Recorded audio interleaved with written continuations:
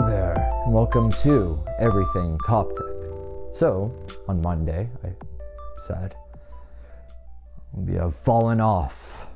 Haven't been doing your reading, haven't been living up to the spiritual rule. And of course, that was for me. So I had sought advice from my spiritual guide, one of my spiritual guides, really. And I asked him, how can I return to my spiritual rule, you know, after a very busy semester and after a vacation that throws you off a new schedule? How can I return to where I was? And he said a practical answer, which was you can't just go back if I'm doing a full sprint and then I sit for like a month, I can't, I can't suddenly return to a full sprint. You need to build up to it. The same with your spiritual life. You may have done so many readings, metanias, you may have done so many practices before, but took time off. Well, let's go back but let's build into it.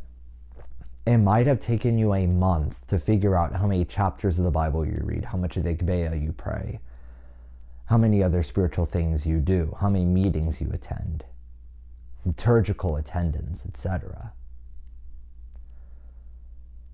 And you kept it going for a long time. Are you ready to return to that progress that you had made? Return to that pace, and then grow from there. In order to do so, build back into it and don't worry if it takes a little bit of time. It's better to build into it gradually than it is to do absolutely nothing. Because when we do nothing and then do a lot and then go back to nothing, we are polemic, we are extremists, we are people without any consistency uh, I almost want to say without any personality when it comes to the spiritual life. We're like a friend who's there, then he's not there, comes around. This is not a friend.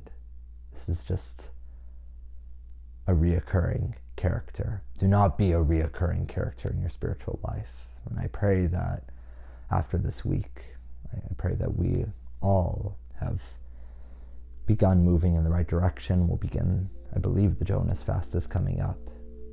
We'll talk about these, but I pray that during the fast and during all these other times we may increase, that we may grow, that we be like our Lord Jesus Christ, to whom is to whom belongs all glory and honor with his good Father and the Holy Spirit. And glory be to God forever. Amen.